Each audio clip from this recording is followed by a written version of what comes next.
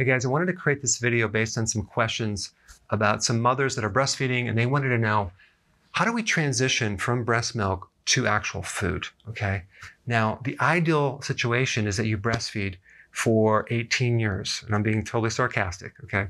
But it would be ideal for you to breastfeed at least for one year, um, but even longer would be better. And what I'm going to show you is in addition to the breast milk, but you might not even need to do this right here if your child is content with the breast milk. Now, let me just back up for a second. It's really, really, really, really important um, what a mother consumes two years before they become pregnant.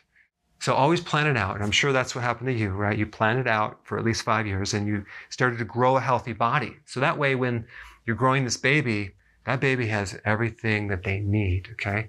Uh, some key foods for the mother are plant-based trace minerals, very, very important, uh, especially like iodine, selenium, cobalt, manganese, all these minerals, very important to prevent issues like um, malformation of your jaw uh, and the teeth, uh, and even scoliosis or flat feet, just to prevent all that stuff. Nutritional yeast for the B vitamins, very, very important. Fat soluble vitamins, vital. Cod liver oil, I like that the best. Um, high quality meats, um, so those are some things that a mother should consume. And the other thing that's really important is eggs. So some mothers during the later part of pregnancy consume like six or more eggs per day. And you might think, wow, that's a lot of cholesterol. But all that cholesterol is necessary to develop hormones in the cellular membranes of that fetus. So it's very, very important. Don't, don't go low fat, that's for sure. And I don't like the idea of a uh, prenatal that's synthetic, gets a food-based uh, nutrient. Okay, that being said, the digestive system of this baby is not developed yet, so you have to go slowly, watch for any reactions. Um, we don't have the normal flora in the gut. What's interesting is that infant um, produces a good amount of lactase, which is the enzyme to break down lactose, milk sugar. So babies were designed to consume breast milk. Um, when we get a little older, uh, that enzyme kind of goes away. So that's why you have people that are lactose intolerant. They don't have the enzyme to break down the milk sugar. All right, cholesterol, I already talked about that. Really important in growth and in hormones. Now, you want to avoid cereals and grains for sure for these babies because um, you see that all the time. Like you go to the store and they sell baby cereal. Like you don't want to do that because that's going to block minerals. It's refined carbohydrates, not very good. Breast milk um, doesn't have a lot of vitamin D. So unless you're getting sun, take some additional vitamin D3. You can also get it directly for the infant in these little bottles and just give your infant a small amount each day. Unless you can get sun, that would be even better. Okay, so right about four months, um, there's two things that you want to enhance the breast milk with. And these are just additional things. It's not a food replacement, it's just an enhancement. Um, the egg yolk, not the white. The white you can have at, at year one, so you boil the eggs, take the yolk out, mash it with a little sea salt, and that's one thing you would want to feed your baby. And cod liver oil. Okay, those two things right here. Make sure you get the virgin cod liver oil. It's more expensive, but it's high quality.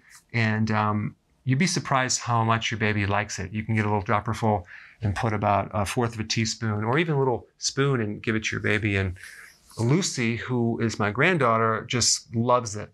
Now, what's unique about cod liver oil that's not in fish oil is that not only do we have an important essential fatty acids, omega-3, DHA, and EPA, which are essential for brain development and nervous system development and immune development, but it has vitamin A and vitamin D, two really, really key um, vitamins. So then at the sixth month, you can give your child a little puree meat. Of course, you can also continue to give egg yolk and cod liver oil, um, but make sure it's grass fed. Um, the infant that's developing doesn't need carbohydrate. They need protein and fat mostly. And animal protein and fat is going to be the best source. A little avocado would be fine at this point, just a little bit to see how they respond to it. Start to feed the microbes at this age. All right, so now at six to eight months, you can introduce uh, like carrot, beet, maybe even a little sweet potato. I would steam these or cook them, add some butter, grass fed, and uh, just a little bit and introduce a little bit with the breast milk, of course, and unsweetened kefir, just a little bit. Okay. Uh, goat's milk kefir is going to be way better than cow's milk kefir.